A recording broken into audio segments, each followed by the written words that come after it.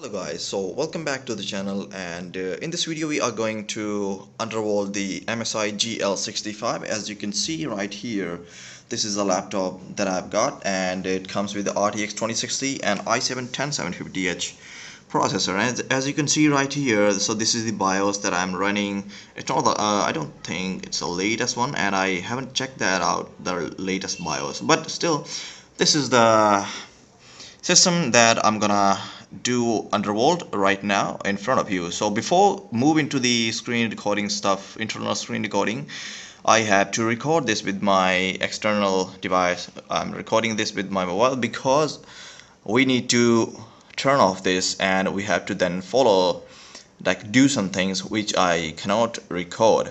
So that's why I use mobile before moving into the internal screen recording. And seriously guys uh, many people are commenting like how we can undervolt our MSI GL65 because temperatures are crossing uh, like 95 degree. So this definitely this video definitely gonna help you out. So follow all steps that I'm gonna do right here.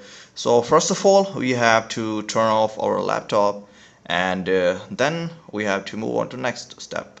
Okay so I'm going to shut this down right now and uh, here we go. And now the next main thing which you have to do you have to enter into the BIOS.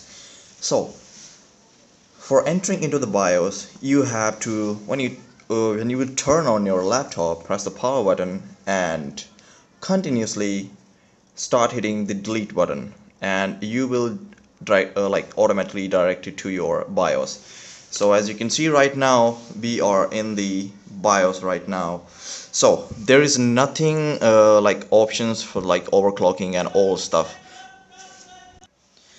Now you have to press right control shift then left alt and then F2 so here you can see that we have got these options which was previously not here. So these are the options from where we can unlock the overclocking access. So here you can see the overclocking and performance menu.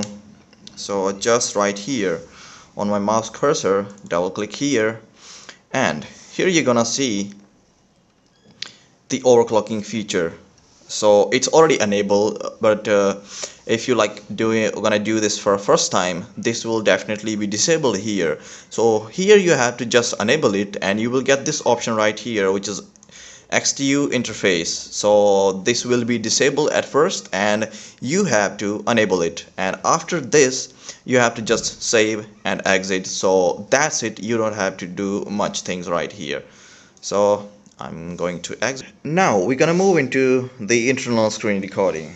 So we are back into the screen decoding now you have to open ThrottleStop which is we're gonna use for the undervolting. I don't use uh, Intel XTU, like I don't like the interface and this uh, software, I'm familiar with this software and it's good for me. So you don't have to do much stuff right here. So first you have to click this right here in the clock mode on my mouse cursor, take this to 100% and set multiplier.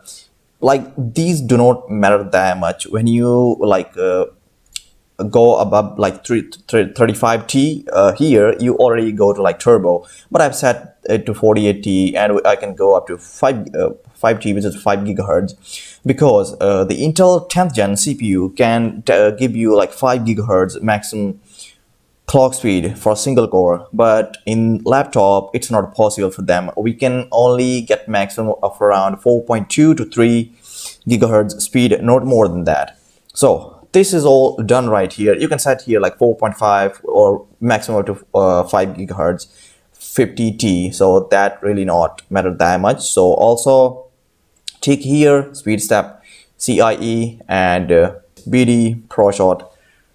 So these will help you to like manage your voltaging and all stuff. Like I don't know the in depth of these because I'm not that kind of expert. So, but I have found Oh, like what I found, I'm gonna tell you that. So now the main thing which is right here, you have to click on FIVR, which is right here. And here is the main panel where you can do undervolt your CPU. so you have to only select this CPU core and second thing is CPU cache so these two things which you have to undervolt so first of all click on CPU core as it's, it on stock it's on CPU core. So at first you're gonna see like this. The interface will be like faded. You cannot access to anything else. So you have to click here unlock adjustable voltages and uh, you are good to go. So as you can see the value that I've set right here minus 105.5 millivolt. It's 0.5 is just uh, as stock as itself. So we can just go like one by one okay if you want to do for like other CPUs you can uh, start from like minus 60 uh, because minus 60 will be a perfect value because I've tried my on my previous laptop which is a U series processor that means ultra low power so that can also handle like minus 60, 60 at starting and after that just go like minus 5 millivolt or minus 10 okay so this so this is how you have to do this undervolting and for me like i can go up to like minus 125 that works also fine with, this. But uh, i was like getting a little dip in clock speed. So i was getting around 4 gigahertz or 4.1 maximum. And with this like minus 105.5 i'm getting around 4.3 gigahertz which is i think perfect speed for a laptop. Not uh, like perfect. According to price what i got it's perfect and in the CPU cache, you also have to select this unlock adjustable voltages and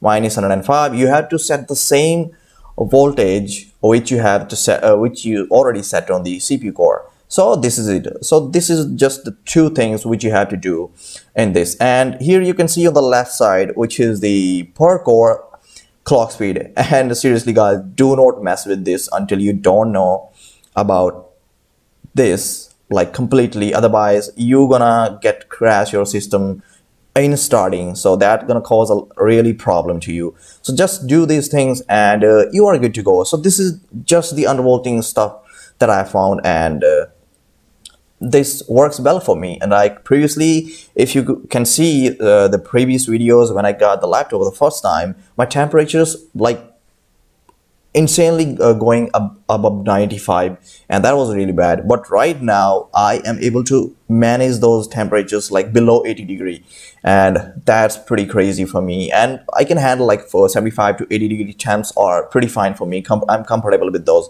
temps.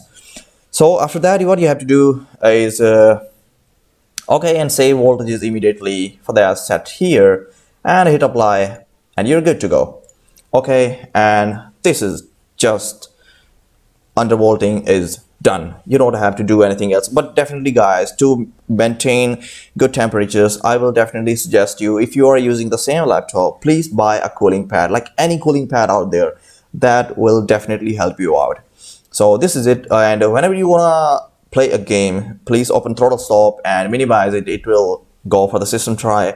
And you be able to play games with these undervolting settings. So this is how you can do also undervolt your system and uh, really it's a warning guys do not mess a lot with voltages number because that can cause a serious problem to you and if you follow these steps and uh, do as I've told you you're good to go. So this is it for this video guys. If you find this helpful please give it a thumbs up and definitely guys please make sure you subscribe to the channel. This will help me a lot and i really need your support guys. So bye bye for now and uh, take care and i catch you in the next one